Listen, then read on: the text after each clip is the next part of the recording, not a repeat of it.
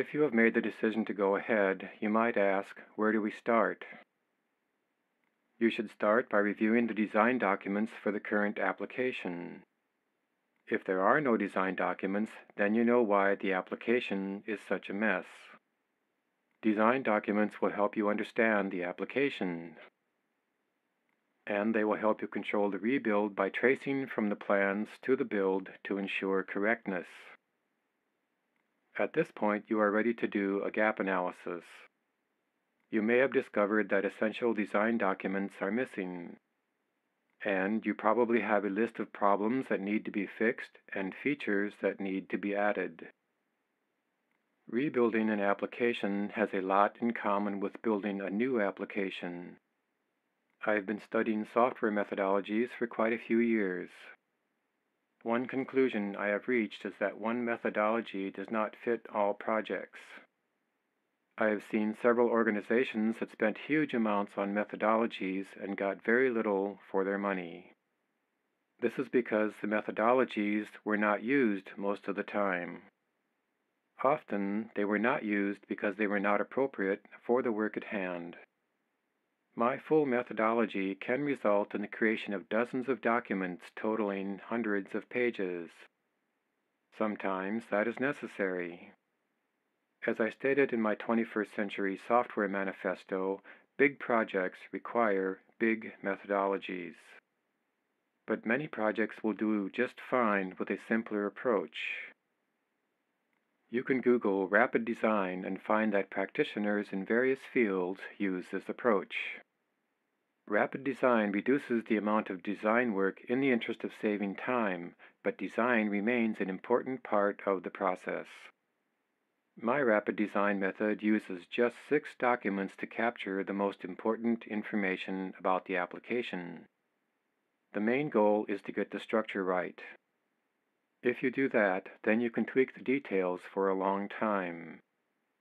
I think that one of the worst things you can do is to gather a group of people in a room to brainstorm about a project. Such meetings often produce an incoherent mass of ideas. This is probably the major cause of paralysis of analysis. Yes, you need to include all the stakeholders in the discussion, but what kind of discussion?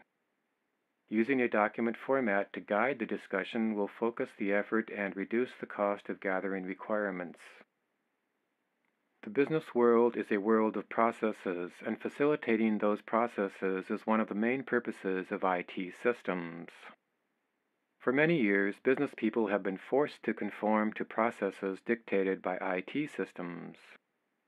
Now, we are starting to build IT systems that conform to business processes and the people who execute them. Some organizations have ready-made process maps as a result of ISO 9000 work. You can use those maps as a starting point. If there is no process map, then making a map will help the people better understand what they are doing.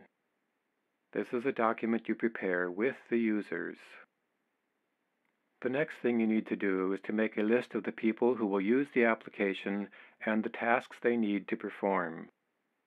You can find templates for use cases on the web.